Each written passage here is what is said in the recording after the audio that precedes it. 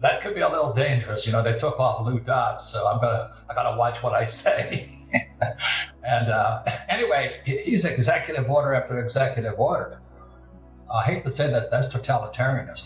Do you know what I mean? He's done more in the first hundred days, but significantly, you got to follow the bouncing banker. And when Yellen took over the Treasury, and she came from the Fed, you have to look at what's happening with Draghi in Italy, I think, and Mark Carney out of Bank of England.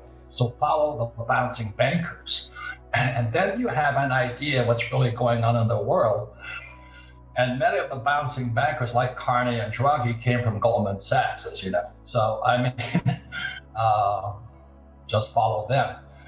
And, and that's why what uh, what's her name, Janet Yellen signifies is they can't get money into the economy fast enough by the old system. So they have to go directly to helicopter money. And that's why they need to reopen up the Fed bylaws and change the rules. And then they can print money directly and give it to the customer.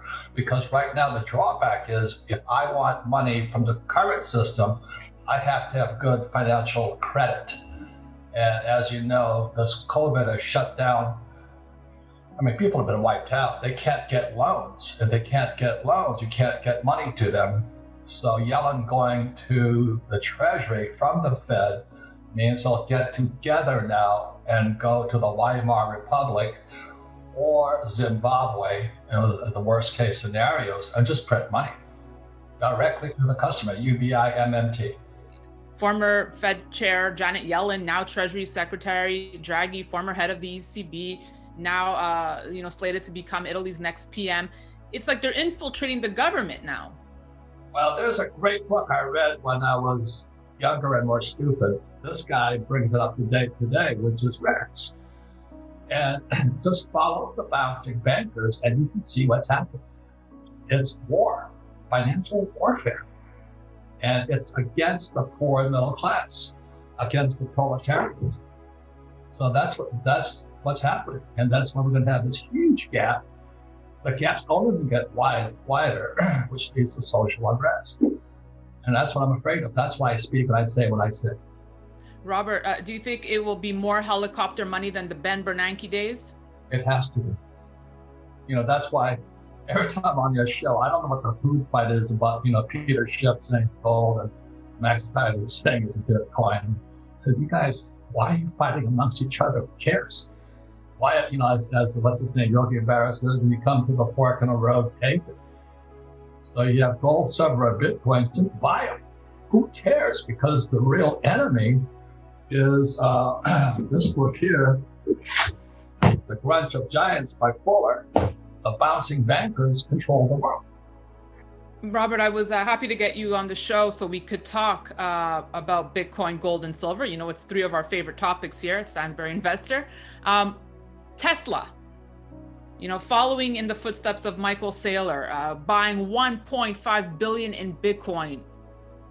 That news blew me away. I wasn't surprised. Uh, you know, Elon Musk had been alluding and and and you know hinting uh, to to a Bitcoin buy on his Twitter. Um, what do you make of this? Do you think this will cause a fear of missing out for more CEOs, and this is just going to cause a domino effect here? Yes it's it's coming. There's uh, there's more and more.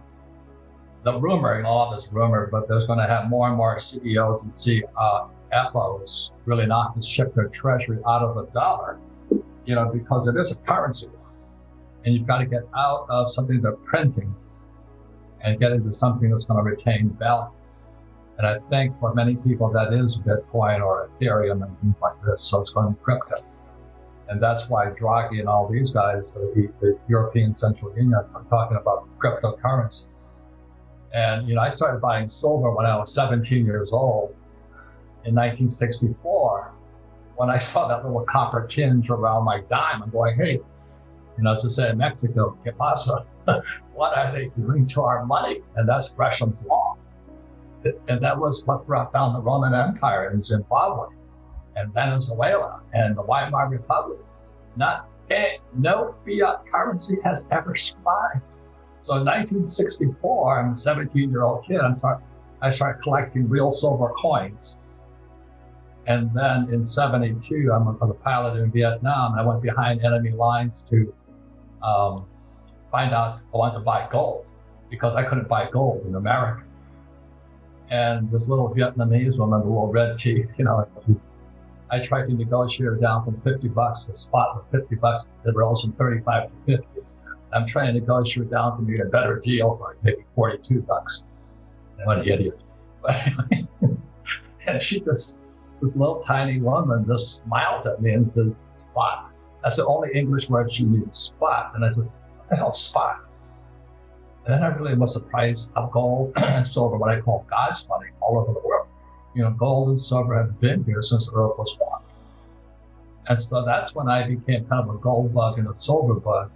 And I've taken two companies public, uh, a gold mining, a gold mining company in China, which the Chinese took, and uh, a silver mining company in Argentina. So I'm a, I'm a hardcore, hard money, non-paper guy.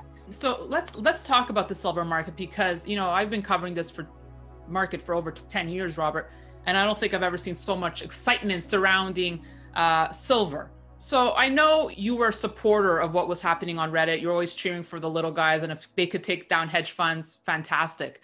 Uh, but you know, what, what do you make of what was happening and all this attention on silver? And do you think it will last? Well, the problem with was a GameStop. It's a fake. Yep. It's fake, hundred percent fake. That's not that. It's not worth anything. And so that's why they can play a silly little game of shorts and all that stuff. But the trouble with silver, it's a real asset. It's an industrial metal first. And the biggest people that use it are some of the biggest corporations in the world, like Sony, Apple, Toshiba, any battery company. And now with, uh, you know, the ESG, environmental social governance, which Carney took over from the Bank of England. You know, I mean, he's taken over that for uh, a, a, a, company called Brookfield, Canada. Everybody's shifting green. So silver is a green metal. And so I was really happy when Reddit at least stirred the water up, but they were messing with real companies. Toshiba, Apple, Tesla, Sony, Apple, you know, they were messing with the end user. And the thing I know since I started a gold mine, it's 100% manipulated. They keep the price low just so it doesn't blow their operating costs out of the water.